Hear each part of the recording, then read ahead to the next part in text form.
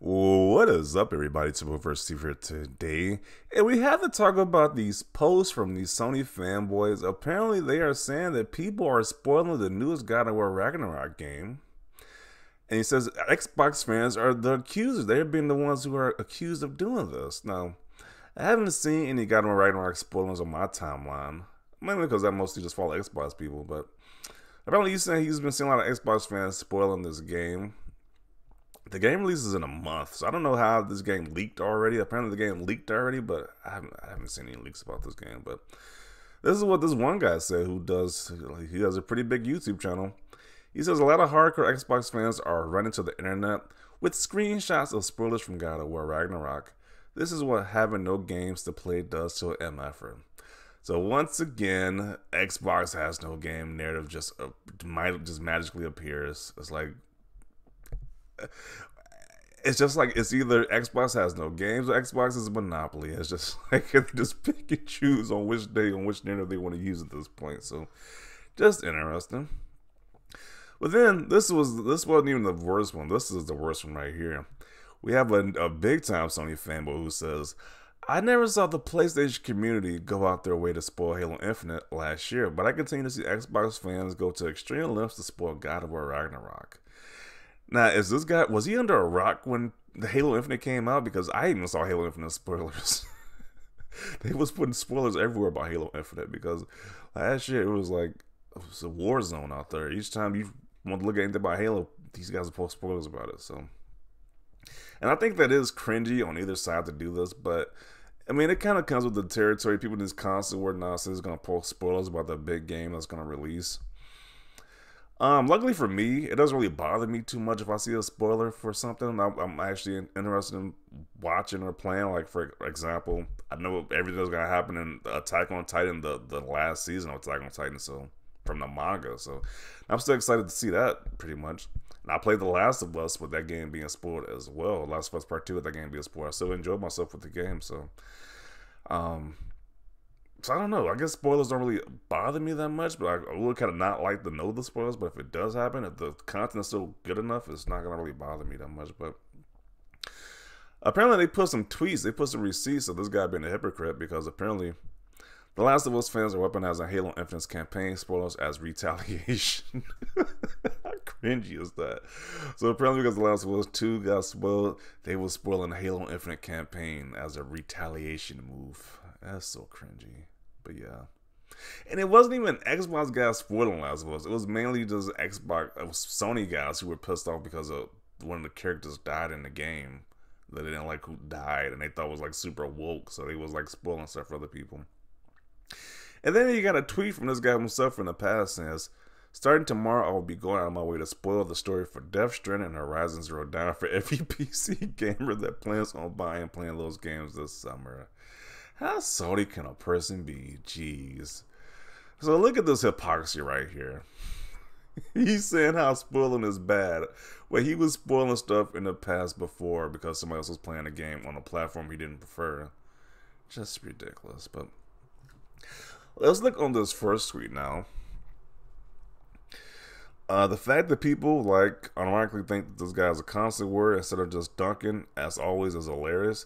I mean, if it sounds like a fanboy, then it must be a fanboy because it sounds like a Sony fanboy narrative right here. The Xbox just has no games, and because they have no games, they're out here spoiling games. I mean, it kind of sounds like a Sony fanboy narrative to me, but okay. Uh, it's more than that. They have no game of the year worthy games. Microsoft dishes out a lot of money on them, but the results are a little bit underwhelming he's saying as well. Xbox won Publisher of the Year in 2021, and I think in that Geoff Keighley's um, Game Awards, Halo Infinite was the most. What was the most one game? What are the players? Won the Players Choice Awards. So because of Microsoft has a crappy year for first party content, don't just erase the previous year. Like, like what are we doing here? Because this year has been that great on first party content but we know those amazing games are coming out next year. It doesn't just erase what happened in 2021. So okay, they're just really doing some revisionist history right now. But let's continue.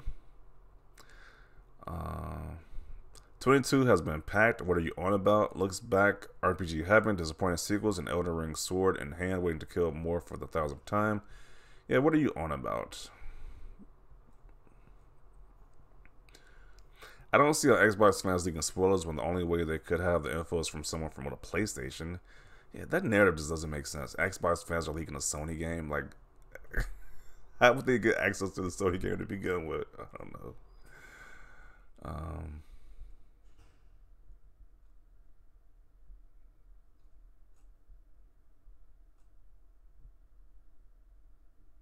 and I thought you'd be one of the cool guys. This guy's doing console wars, seriously. Uh, pretends PlayStation fanboys wasn't doing the same with Halo spoilers. Come on, Keef, do better. It's just the obtuseness. Dude, want he would have act so obtuse like these guys weren't spoiling Halo Infinite. Like, really? it's just hilarious. Wow, why are you blaming Xbox fans?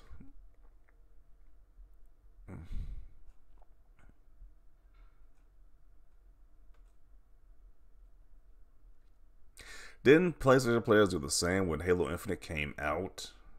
Yeah, they definitely did that. The Xbox has no games narrative is weird. It really is weird when you got the same people being upset that people get to play Persona 5 Royal now on Xbox. Like you got people throwing full grown tantrums that people get to play a Persona 5 game on Xbox, but Xbox has no games apparently. Okay. And he says, I've got like 300 plus games on my Xbox I can't play right this second. I've got about the same on my PS5 too both have games like what the f. Um, a lot of literally seen nothing. I ain't even trying to avoid spoilers since I don't play the series. Someone talked about the stuff that was already shown in the trailers, and y'all want to pretend this is spoilers. Yeah, I don't even like games, just the drama. I okay.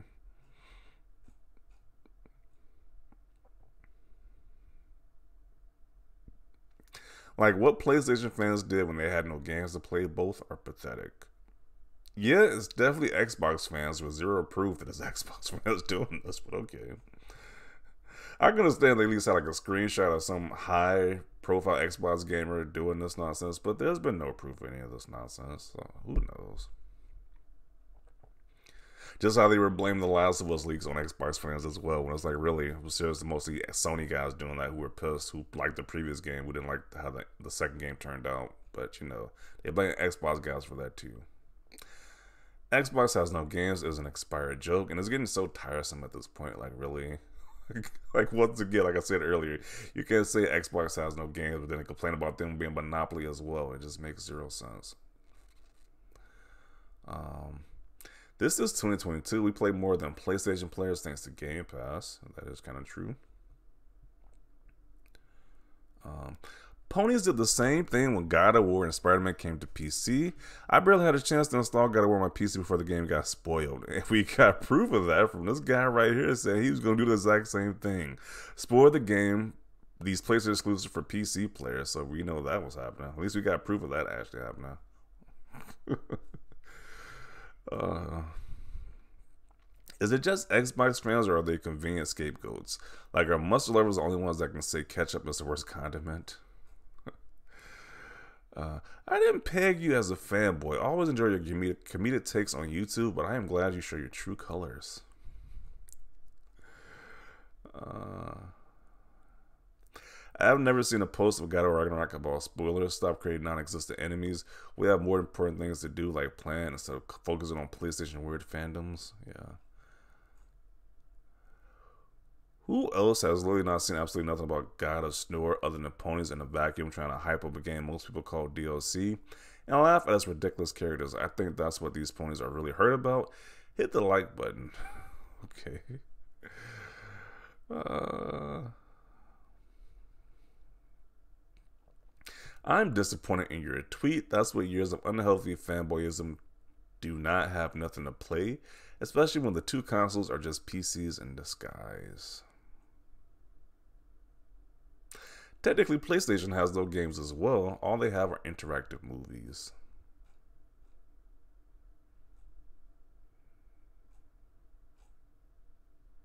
What does people say about this? I'm kind of curious what people said about this guy's post right here. Oh yeah, it's the same guy who That's the same guy who was sending the women on internet D pics. Like they would just say hello and he would just like whip it out. So yeah, that's the same guy. Forgot about that, but yeah, that was the thing that happened. Didn't the PlayStation families do the same with Halo Infinite campaign? Yeah, they did. You know, back going back to that whole like the picture thing, that seems to be a trend because then they threatened the guy, one of the God of War developers with with the D pics as well to get them to reveal the release date or something like that. That just seems to be a trend with these guys apparently. it was like okay. Uh, let's see. wow, Craig forgotten, huh? People really don't think receipts exist these days. He's really believing his own lies, huh?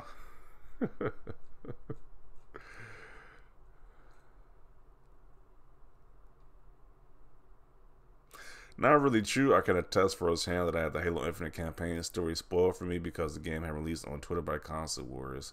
Yeah, I definitely got the game spoiled for me too, but it's like the game was so good I didn't really care, so but yeah, I definitely had Halo, Halo Infinite spoiled and Last of Us Part 2 spoiled. So I think people are just gonna do this for like these big high profile first party games at this point. Like it's just it's just how it is gonna be at this point on the internet. Um how can we spoil something we haven't even played yet?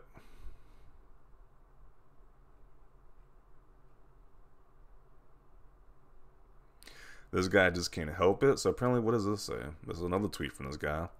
Apparently, he was asked, Why do you keep blocking people on Twitter? Because people respond to my facts with lies, and I don't want to waste any time arguing with someone that is 100% wrong. Okay.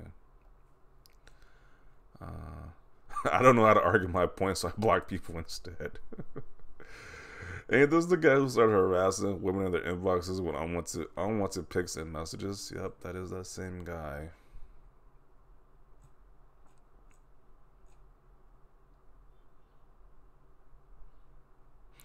How many times we gotta tell them we have the receipts? Yeah, that is very that was kind of hilarious. Like as soon as you say something, they got the proof to say, "Hey, weren't you the one who did this back in the past? Like you were posting spoilers, but you want to talk about posting spoilers as wrong now? Like uh, irony."